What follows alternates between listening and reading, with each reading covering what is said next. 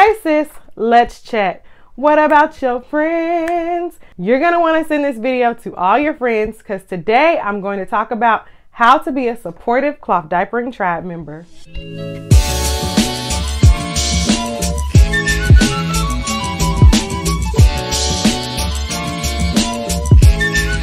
Hey everybody, welcome back to the channel. Okay, girl, have you ever had a daunting idea, but a vision that you were so excited about and you couldn't wait to tell your girls, only to be met with side eyes and questions and a trepidatious, okay, girl? We've all been there.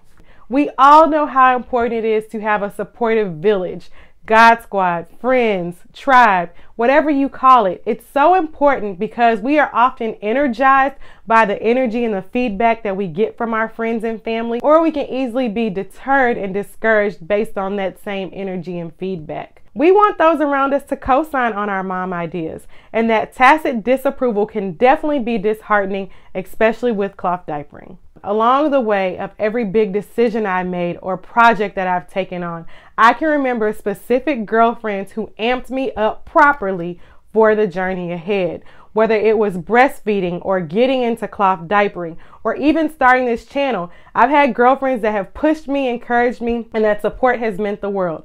For example, even with starting this channel, I know that if I don't get any other views, I'm gonna get three views on my videos. My sister Jaleese, my cousin Lara, and my girl Lori are always gonna hold me down for a good thumbs up. With cloth diapering, it's no different. We want that validating support. We want those positive vibes thrown our way. So today's video is not for the prospective cloth diapering mama. It's for the aunties, the moms, the grandmothers, the mother-in-laws, the friends, the cousins, anybody who is inclined to side-eye a cloth diapering decision. Girl, go ahead and send them my video. I got you covered. Today I submit three ways for you to be a supportive village for a cloth diapering mama. The first way that you can be a supportive cloth diapering village member is to react lovingly to her choice. We all know sharing with your girlfriends is a huge deal. And y'all, we know the difference between constructive reasoning and shade. So, if you want her to tell you more about what brought her to this choice, no problem. It's okay to be curious.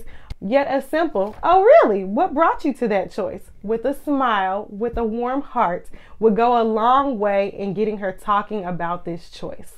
Before you jump to the snide comments about poop or how old this technique is, make sure you hear her out and give her space to share with you. Encourage your girl just like she's encouraged you on all the big life decisions that you all share together. Plus, if you have never cloth diapered and you do not know about handling poop, you are in no, zero position to offer any advice on how to handle poop. Bloop!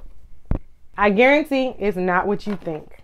The second way to be a supportive cloth diapering village member is to help her prep.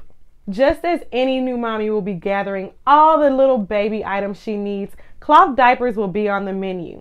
So I suggest that you spend a girlfriend day with her. Help her wash the baby clothes and wash the diapers and get them ready for baby's use.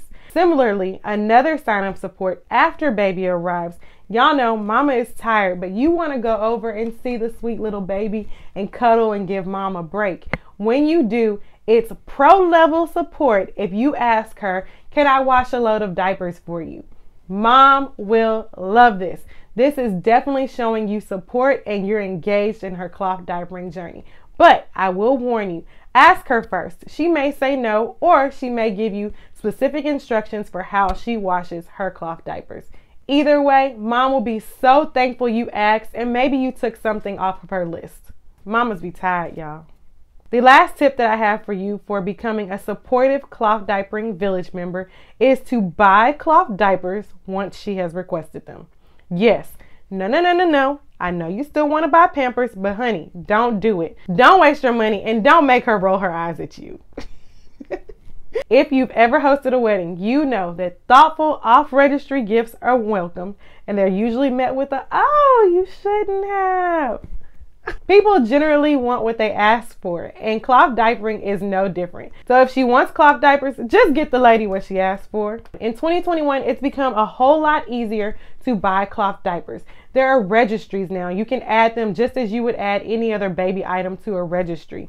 You can also buy them at many, many, many online stores, including Amazon. Cloth diapering can be perceived as being expensive, especially the upfront cost of it. However, if cloth diapers feels and seems out of your budget as a gift, it's no problem. Trust me, I got a good tip for you. Please do not shift back to disposable diapers. Do something like maybe buying one diaper off her registry or getting her one cloth diaper. Or you can even support her by buying more cloth diapers that are maybe cheaper than the ones she asked for, but it's still adding to her stash. There is no harm, listen to me, no harm in buying one single diaper. Diaper by diaper is how you build a stash. You don't have to feel like you have to get her mountains and mountains of diapers. If buying one single diaper troubles your spirit or you don't feel like that's an adequate gift, pair the one cloth diaper that she asked for with something else on her registry, maybe something else that you feel like is a practical baby gift or something that she can use, Pair those together for your gift to her. Purchasing cloth diapers is a maximum show of commitment to her cause. Trust me, mama will be appreciative when she gets her diaper, plus you helped her build her stash. It's a win win. In sum, being a good, supportive cloth diapering village member is easy.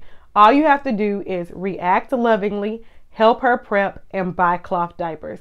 It's that simple and it will go a long way in your friendship relationship with the mama who's decided to cloth diaper. Being a supportive villager should never feel like a daunting task. It's as simple as being empathetic just as you would on any other topic your mommy friend brings up. Of course, choose your words wisely when talking to pregnant people. Do a little research and respect her wishes. Who knows, you might learn to like cloth diapers too. All right, guys, that's all I have for you today. Make sure you share this video. I want this one to be a good one too. Thank you so much for watching. I hope you enjoyed this video. Have you had trouble with your village already? Are you nervous about telling them? Let me know in the comments below.